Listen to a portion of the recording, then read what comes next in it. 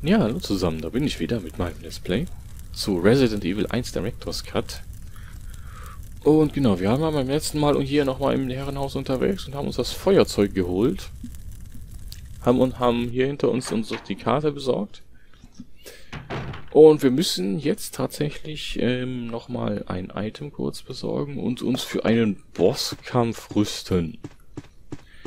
Genau, liebe Leute. Ähm, hier gibt es auch Bosse in diesem Spiel, Zwischenbosse. Und äh, der nächste, der da kommt, wir haben beim letzten Mal auch Richard versucht zu helfen.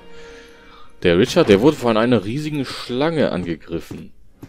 Leute. Riesige Schlange. Hm, das schreit nach Boss. Und äh, ja, da würde ich sagen, äh, gehen wir da jetzt einfach mal hin. Beziehungsweise, nee, noch nicht. Ähm, wir hatten hier noch einen Raum, bitte, genau. Hier hatten wir Richard geholfen. Hier liegt er auch noch. Der liegt noch hier. Das macht mir ein bisschen Angst, dass der hier rumliegt. Und, äh, genau, wir holen uns jetzt noch ähm, eine Sache mit dem Feuerzeug. Und zwar genau hier oben, Leute. Da ist ja überall Blut und so. Diese Tür, ey. so. Gut, dann würde ich sagen, geh noch mal kurz hier rein. Und dann machen wir mal hier weiter. Hier haben wir ja nur kurz reingeguckt. Da liegt nämlich noch ein Farbband. Und wir sind voll. Scheiße, wir sind voll. Warum sind wir... Ach, wartet mal. Wartet mal. ich habe noch eine andere Idee. Ich glaube nämlich, dass diese Tür da oben tatsächlich für den Schildschlüssel gedacht ist, den wir mal ganz am Anfang gefunden haben. Hier diese Tür. Da, der Schildschlüssel. Der war auch tatsächlich nur für diese eine Tür. Okay, dann schmeiß den weg. Aber da werde ich äh, mich äh, tunlichst vermeiden, da reinzugehen erstmal noch. Ähm, jo. Einfach weil wir noch nicht vorbereitet sind. So, liebe Leute, ähm, dann würde ich sagen, gucken wir uns nochmal hier in diesem Raum um. Wir haben ja gesehen beim letzten Mal, dass wir hier eine Kerze haben. Eine Kerze. Und was macht man mit Kerzen? Und zündet sie an. Sieht das nicht geil aus? wir haben jetzt hier Licht drin. Okay, und den Schrank, den kann, da kann ich mich erinnern, den hatten wir beim letzten Mal auch schon weggeschoben.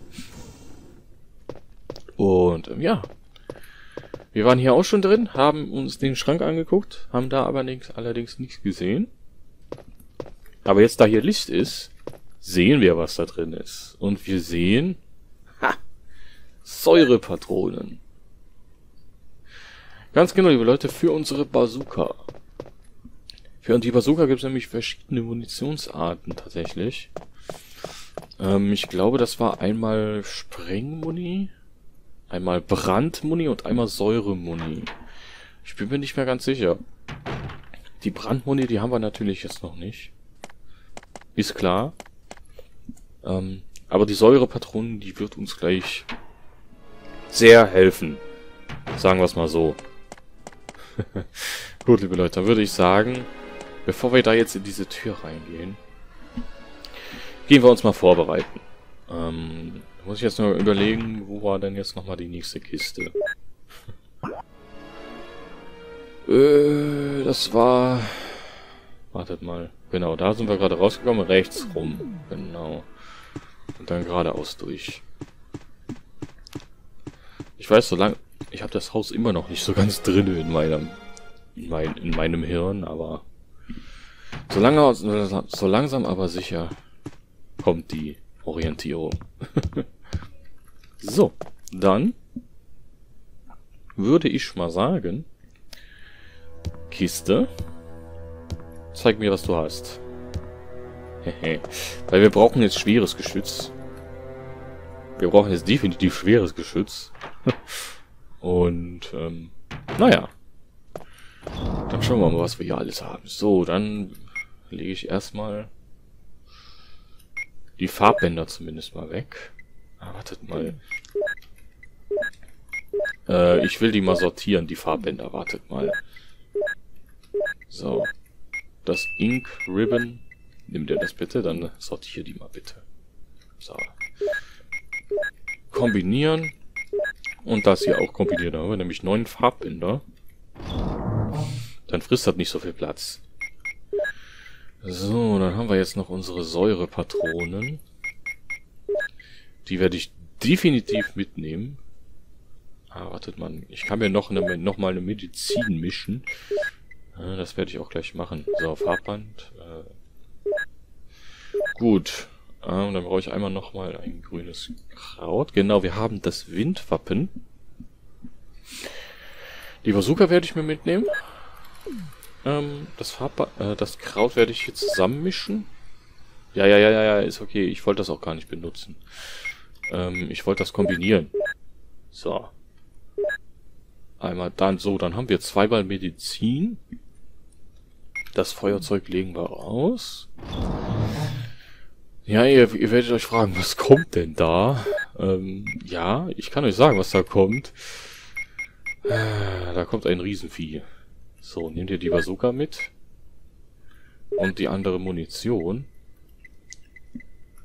Dann werde ich, ähm, werde hier gleich auch noch eine, ähm, Heilung mitnehmen. So, dann haben wir einmal hier sechs mal das. Dann haben wir hier das. Dann haben wir noch die Schrotflinte und unsere Pistole. Gut. Ähm, lad die mal bitte voll nach. So. Wir rüsten uns hier voll aus, ey. Ja, es ist nur nötig. Das ist echt nötig. So. Feuerzeug brauchen wir nicht, Farbband brauchen wir nicht, Messer brauchen wir gar nicht. Die Patronen. Nee, das muss, das muss reichen, Leute. Das muss reichen. So, wir haben zwei, zweimal gemischte Kräuter. Nehmt ihr das doch mit. Jetzt sind wir ein lebender Waffenschrank. Aber ich glaube, das passt soweit. Speichern werde ich erstmal nicht. So. Gut, Leute. Da wir uns jetzt ausgerüstet haben, würde ich sagen, machen wir uns nochmal auf den Weg zu dieser geheimnisvollen Tür, ey. Oh Mann, ich habe schon ein bisschen Schiss, muss ich sagen. Weil dieser Boss, der war... Ähm, ich weiß, es ist, es ist der erste und der ist eigentlich der einfachste, aber für mich ist der schon schwer. Ich weiß auch nicht. Gut, Leute, dann... Weil wir dürfen uns von den Dingen nicht so oft treffen lassen. Das ist halt das. Und ich glaube, ihr könnt euch schon denken, was jetzt kommt. Richard, Richard hat von einer giftigen Schlange geredet, die hier irgendwo rumkreucht. Gut, dann schauen wir doch mal. Gut, dann müssen wir jetzt nur noch hier die Treppe hoch und äh, ausrüsten. Bazooka, ausrüsten. Oder war das vielleicht... Hätte ich mir vielleicht die Säurepatronen reinnehmen müssen? Egal. Wir gehen hier rein. Okay. So. Da sind wir. Auf dem Dachgeschoss. Scheinbar. So, was haben wir hier? Bücher und äh, Werkzeuge. Nichts Ungewöhnliches. Okay. Ähm, hast, ich will nicht, Leute. Aber ich muss. Hallo, mein Freund. Seht ihr das? Genau das meine ich. Diese Giftschlange. Äh. Okay. Äh, weiter geht's. Ah, verdammt. Ah. Schieß weiter drauf. Seht ihr das? Wir sind im gelben Bereich und äh, wir sind vergiftet. Das Ding hat uns getroffen. Ah, verdammt. Okay. Nachladen. ich habe jetzt noch sechs Schuss. Okay, Säurepatronen. Aua. War's das schon? Oh mein Gott. Das war's schon. Die Schlange haut ab. Puh. Wir sind im gelben Bereich, das geht ja noch. So, ihr seht unser Herz, das pocht wie verrückt, weil wir vergiftet sind. Ah, Leute, Leute. Ähm, aber wir haben es geschafft. Tatsächlich. Wir haben noch voll viel Muni übrig. Und, äh, ja. Da liegt ein Wappen. Das Mondwappen. Liebe Leute. Das heißt, wir haben alle Wappen zusammen. Das ist das Loch, wo die Schlange rausgekommen ist, ja. Aber tot ist die nicht. Ne? Tot ist sie nicht. Aber wir haben sie zumindest erstmal ein bisschen verscheucht. Das ist schon mal gut. Und es ist auch sehr gut, dass wir nur eine Medizin gebraucht haben. Und dass wir da noch leben. So, was haben wir denn? Ja, schaut mal. Haha, Schrotgun Money. Ey, ich sag immer Schrotgun. ich sag immer Schrotgun. Shotgun Money. So. Dann, chill. Du bist vergiftet. Du wirst jetzt äh, kontinuierlich Schaden nehmen. Ähm, aber ich glaube... So, komm runter. Genau, Cutscene. Am I poisoned? Give me the serum.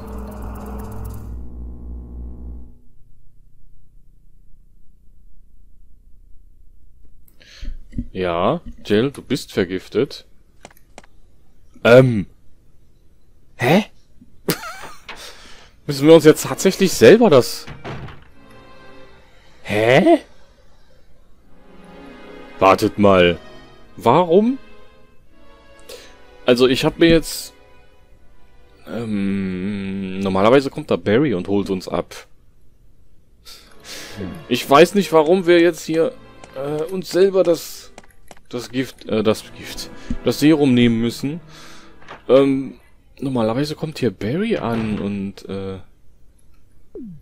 wartet mal, kommt hier Barry an und bringt uns zur, ähm, ja, was soll ich sagen, äh, zur Krankenstation und äh, dann hat sich das eigentlich erledigt, aber hm, das ist jetzt übel, dass wir jetzt da selber hinrennen müssen. Ich musste halt immer wieder jetzt meine Gesundheitsanzeige überprüfen. So, nach jedem Raum, Leute. Weil ich möchte nämlich keine Medizin verschwenden. Ich möchte Medizin erst nehmen, wenn wir im roten Bereich sind. Wir sind noch im gelben Bereich. So. Beziehungsweise orangenen Bereich. Oh Gott, sie wird schon langsamer. Habe ich das Gefühl. Sie wird schon langsamer. So, mach die Tür auf. Wie geht's dir? Noch orange, okay. Äh, ja, Leute. Dann äh, holen wir uns jetzt selber das Serum. Keine Ahnung. Keine Ahnung, wir sind immer noch vergiftet. Und eigentlich, wie gesagt, Leute, ich kenne die Szene nur so, dass da Barry kommt und uns hilft. Oh, jetzt sind wir im roten Bereich, das heißt, benutze. Gut, okay. Ähm, ihr seht, dass es geht ziemlich schnell, wenn man vergiftet ist, dass man da Schaden nimmt. Ah, aber hier sind wir schon, Leute. Hier sind wir schon. Nimm dir das Serum. So, dafür braucht man das zweite Serum. Weil wir selber vergiftet werden. So, mach das Gift weg. Puh. Okay. Wie gesagt, verdammt interessant. Äh, wenn ihr wisst, warum da Barry nicht kam, sagt's mir bitte. Das würde ich sehr gerne wissen. So. Dann können wir uns mal wieder umorientieren. Das passt soweit. Wir brauchen nämlich tatsächlich erstmal die Muni, klar. Und äh, wir brauchen das andere Wappen. Das hier, genau, das Windwappen, liebe Leute. Und ansonsten äh, haben wir alles hier, ne? Speicher erstmal ab. ich will euch mal... Ich speichere das jetzt erstmal so ab. Ähm, ja, einfach der, äh, dem Stil halber. So, Farbband benutzen. So. Memory Card. No Data. So. Babababam. Okay. Gut. Es könnte sein, dass es echt mit der Version zusammenhängt, dass da Barry nicht kommt. Ähm ich weiß es nicht, Leute. Ich weiß es leider echt nicht. Ich lasse die Bazooka mal hier drin. Ich glaube nicht, dass wir die jetzt bald brauchen. Ähm, die ganzen grünen Kräuter lasse ich auch erstmal nochmal da. Ich renne halt jetzt mit einer Medizin rum, ne? Gut, aber das wird ausreichen, denke ich. Gut. Alles klar, liebe Leute. Dann gehen wir mal die Wappen einsetzen. So, das war ja im oberen Bereich, glaube ich. Glaube ich, oder? Ja, das war im oberen Bereich. Ja, Leute, der Schlangenboss, der war einfacher, als ich gedacht habe. Ähm, so, Map. Scheiße, es war doch unten, ich Idiot. Es war doch unten. Mann. Ja, ist auch logisch. Wenn man raus will, geht man halt auch im Erdgeschoss raus und nicht im, äh, im ersten Geschoss. Es sei denn, es gibt einen Balkon oder so, aber... Naja, gut. Äh, das war doch hier durch. So, da kommen wir nämlich auch ziemlich schnell in die Haupthalle. Beziehungsweise in den Bereich, wo ich hin möchte. So, äh, Map nochmal. Ja, wir sind auf der falschen Seite. Äh, wir müssen tatsächlich einmal rechts rum und dann geradeaus und dann ja, kennt man den Weg, ja. Genau. genau. Und ja, liebe Leute, dann freue ich mich, dass ihr mal wieder hier eingeschaltet habt zum Resident Evil Director's Cut. Und ja, wie wir jetzt hier das Herrenhaus weiter erkunden. Und wie wir jetzt gleich hier die die Wappen einsetzen und dann nochmal diesen neuen Raum freischalten. So. Ich hoffe natürlich, dass euch die Sache nach wie vor hier gefällt. Ähm, ihr guckt dieses Projekt sehr rege, finde ich super. Und ähm, ja, Resident Evil 1 ist einfach ein Meisterwerk seiner Zeit. So, dann war das nicht hier bei den Hunden? War das bei den Hunden? Also bei den Ex-Hunden? Ja, das war bei den Ex-Hunden. Okay, da gibt es schon gar nichts mehr drin. Gut, dann bin ich mal gespannt, was uns da erwartet. Weil, wie gesagt, so ganz in, so ganz in Erinnerung habe ich das Spiel nicht mehr. Nur, dass halt Barry nicht kam. Das wundert mich echt. Das wundert mich echt, Leute, dass Barry nicht kam. Aber gut, wir haben es trotzdem überlebt. ähm, ja, hat uns ja nichts gekostet im Endeffekt, ne? So, war das schon hier? Das war, glaube ich, sogar schon hier, ne? Oder? Nee, Quatsch. Das war die Stelle mit dem Rätsel. Ah, noch nicht mal. Das war die Sackgasse. Boah, dieses Hundegejaule, ey. Dann war das doch hier durch. Einmal komplett durch. Ach ja, ich erinnere mich. Lang. Ah, lang ist ja, wollte ich gerade sagen. Letzte Folge. In der letzten Folge waren wir doch hier. Und dann war doch hier hinten. Ah, perfekt. Hier hinten ist der Raum. Alles klar. So, wir hören keine Hundetapser. Das heißt, wir können hier hinten unsere Wappen einsetzen. Genau, zwei hatten wir ja schon. Dann einmal das Mondwappen und in der Mitte, das fehlt noch. Und zack. Uh, das Schloss ist offen. Und äh, da würde ich sagen, wir haben alle Wappen. Gehen wir da rein. So, was, was erwartet uns hier? Da bin ich mir jetzt echt nicht sicher. Aha, nur ein Raum also. Gar nicht nur ein Raum. das ist noch eine große Tür. Auf jeden Fall sehen wir da oben ein Item. Ein altes Fass. Da oben, seht ihr das? Da liegt eine Kurbel. Liebe Leute, auch äh, typisch für Resident Evil. Die Kurbel. Nichts Ungewöhnliches. Die braucht man auch gefühlt in jedem Teil, ey. Hallo? Schieb doch! Ach, muss ich die erst... Ach, Leute. Diese Schieberätsel hier. Muss ich die erstmal hier hinschieben. Da komme ich wieder nicht rein, das ist doch nicht wahr. so, aber... Wir sind jetzt hier hinter und können die schieben. Hallo, Jill, schieb doch. Ja, sehr schön. Gut, dann kommen wir nämlich auch an die Kurbel da oben dran. So. Am besten direkt davor, so. Damit die auch nicht meckert, dass wir nie, nicht irgendwo vorstehen. Nimm dir die Kurbel, Jill. So. Genau, Leute, das ist eine Kurbel. Ähm, ich würde die gerne erstmal überprüfen. Check. Weil es gibt nämlich verschiedene. Die hier in dem Fall ist es die Vierkantkurbel. Genau, seht ihr auch da, Quadratkurbel. Ähm, die werden wir jetzt auch brauchen. Gut, Leute, jetzt wird es interessant. Wir gehen nämlich raus. Wir haben keine Waffe. Jetzt haben wir eine Waffe. Mit genug Money. Und wir gehen raus hier. Das sagt uns aber, dass da keine Tür ist, ne? Also irgendwas ist da komisch. Na gut. Geh raus, Jill. Geh raus. Riesentür. Schaut euch mal das an. So viele Kräuter hier. Und Hundetapster.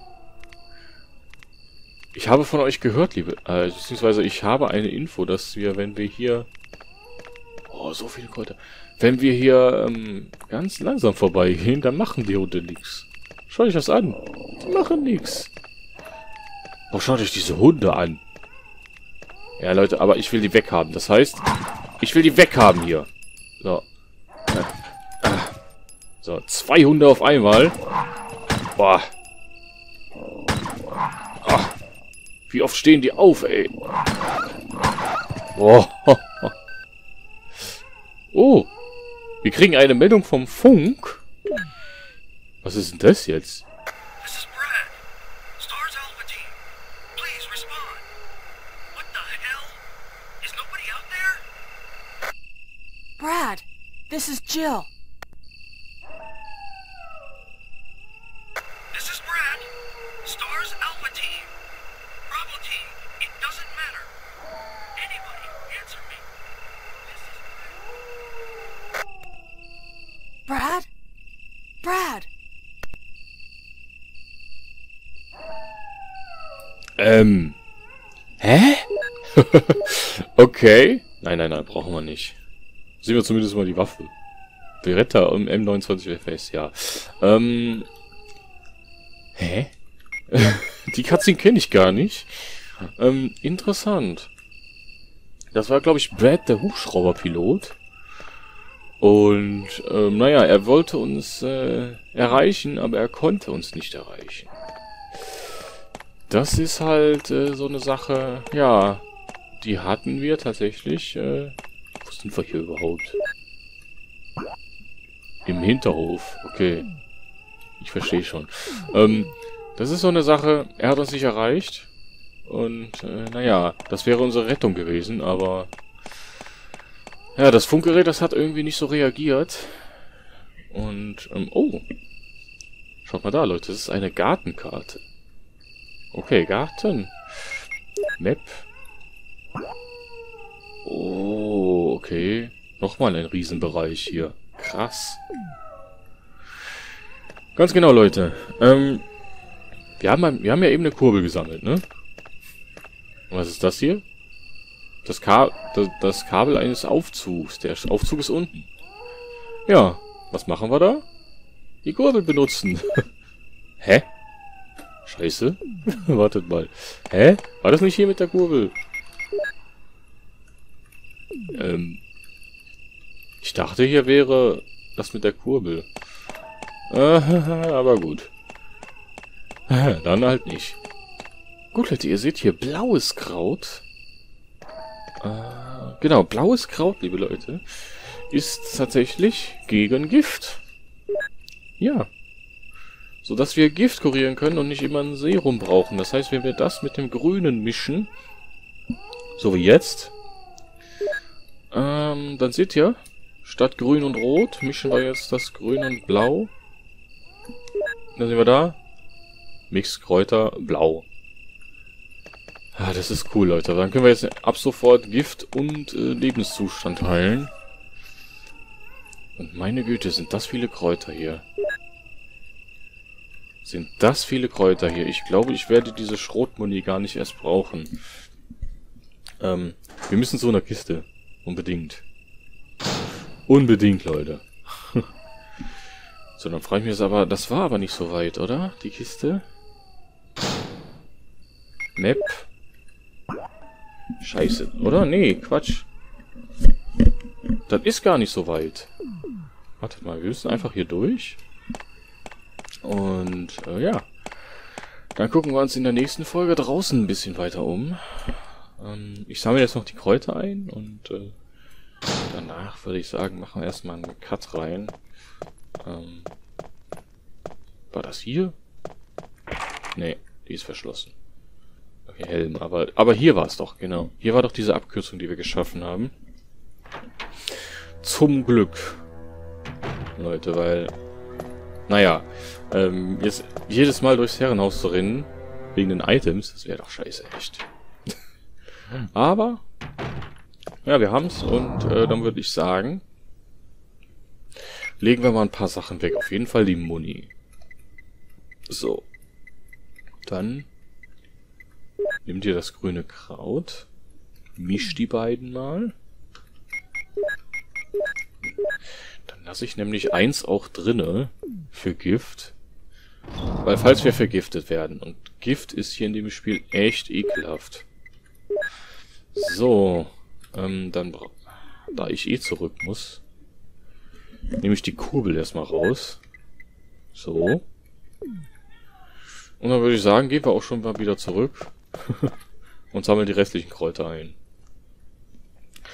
Laufen dann wieder zurück, packen sie in die Kiste, laufen dann wieder nach draußen. Oh Mann. ja, Leute, das ist jetzt ein bisschen Laufweg und äh, Item-Management, aber es ist halt Resident Evil 1, ne? Es ist halt so gewollt gewesen, dass man sich da auch ein bisschen mit den Items auseinandersetzt. Genau, liebe Leute, gut, dann gehen wir mal wieder raus hier.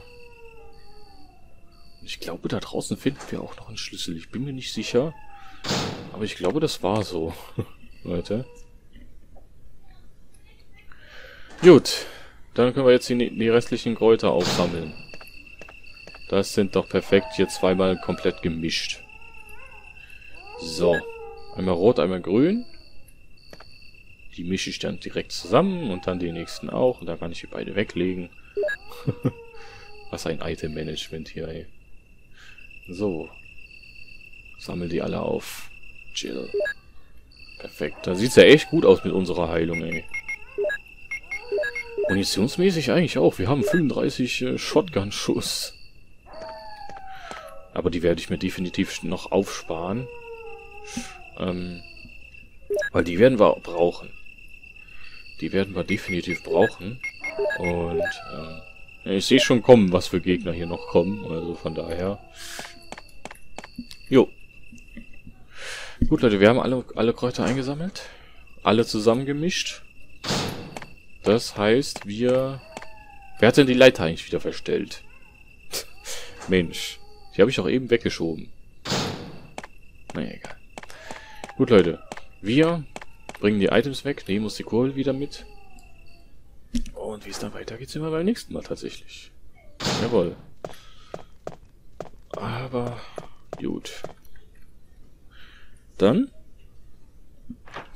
Ach, oder wisst ihr, warte, ich bin jetzt gerade so im Flow drinne. ich werde hier noch weiter aufnehmen. Ich werde diese Folge, diese Woche mal äh, vier Folgen aufnehmen am Stück. Tatsächlich. Äh, ich bin einfach so im Flow drin.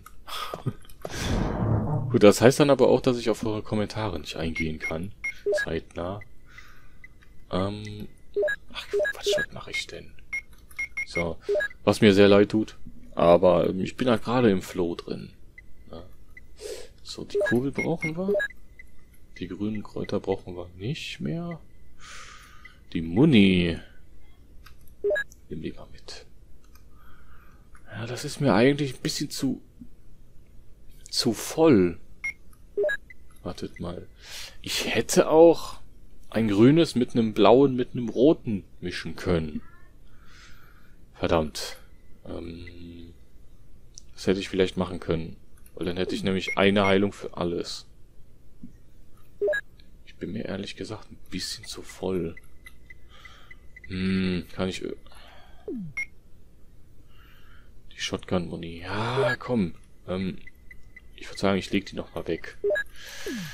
Ich bin mal mutig, Leute. Alles klar.